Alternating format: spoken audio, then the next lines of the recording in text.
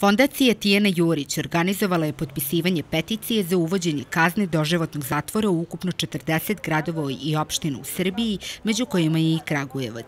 Odgovorni građani naše zemlje, roditelji pre svega, nemaju dilemu da li treba učiniti ovako važan korak koji će doprineti većoj bezbednosti dece.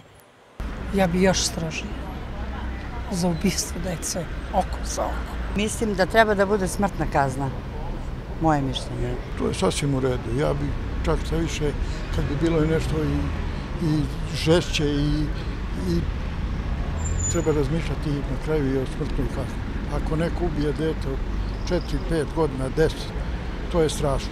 Ja sam upravo na ovom mestu iz tog razloga što želim da podržim sve one koji smatraju da je takav jedan čin najstrašniji koji može da se doživi u ovom 21. veku.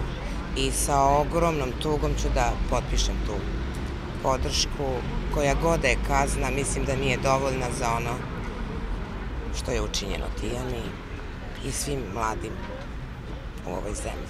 Treba reći stop takvom nasilju. Mislim da bi trebala doživotna.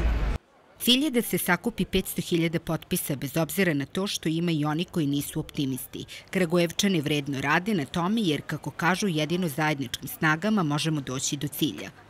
Trenutno imamo podatak gde je prikupljeno oko 850, znači 840 i nešto potpisa, s tim što je ostalo znači, do 29 imaju građani da se odazovu tom pozivu i da dođu i da potpišu. dosta građana je za to, znači zalaže se za to, baš dosta pita, dosta se informišu o tome, e, tako da nadamo se da će biti još dovoljno potpisa koliko im je potrebno. Podsjetimo, 15-godišnju Tijenu Jurić krajem jula 2014. godine ubio je Dragan Đurić iz Surčina koji sada izdržava kaznu od 40 godina zatvora. Kragujevčani formulare mogu da potpišu do 29. oktobra na štandovima ispred ekonomskog i pravnog fakulteta kao i kod kafane Balkan od 12 do 17 sati.